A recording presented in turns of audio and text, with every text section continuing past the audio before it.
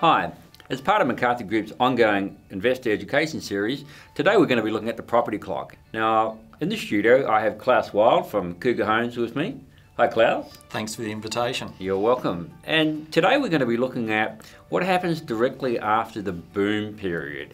Now, uh, there's obviously when the boom comes off, the it, it, can't go forever and begins to slow down. And so this part of the series, we're going to be looking at some of the common characteristics of what is happening in that slowdown period and before it moves into the slump. So Klaus, you're at the coalface. You see, you see traffic coming in display homes. Um, you see people that are wanting to build homes. What do you, what do you start seeing when you, you know, how do you start noticing the, uh, the slowdown uh, is upon us as distinct from the boom stage? A general, um, it's just a softening in the marketplace. People don't seem to have the same urgency that they had in the boom period. Everyone's just a little bit more measured. They're, um, they're taking their time. Um, I actually like this period because um, everyone starts to become nice again. It's, it's, easy to deal with the land developers, with your tradespeople.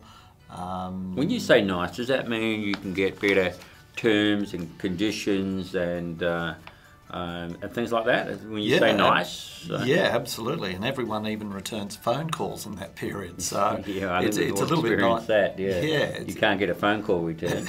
exactly. In the boom market, no one's got, no one's got any time to talk to you. No, try and dial a tradie when uh, the boom's on. You know, it, it's it's a difficult marketplace to be in, and also people aren't. A, they don't know where the ceiling is, and people feel sort of at that when the slowdown happens, they realise that that the the, the, the, the peak has happened. Mm-hmm. Um, and I think what's obviously slows the market down too is that is that um, that reaction to sticker shock. And that being, of course, is that see the price of what people have to pay for their land or their or their home, and that sort of stops them in their tracks a bit because you know it, we move into they start believing, well, well, not believing, but actually feeling that this is unaffordable. And yeah, that, absolutely. And and I think because of that, you see the the volume of sales, uh, whether it be new homes or established homes, the volume of sales actually decreasing. Yeah. Um, and it's the same with the in investors. They they also start seeing well you know, I'm not getting, for what I'm paying and the rents that's coming in, uh, there's a bit of a gap between the two. Yeah, there's a bit of oversupply in the market and, uh, you know, it, it broadcast, it, basically the media lets us know straight away when there's an oversupply. Yes, they do. They hammer that one up, don't they? Yeah.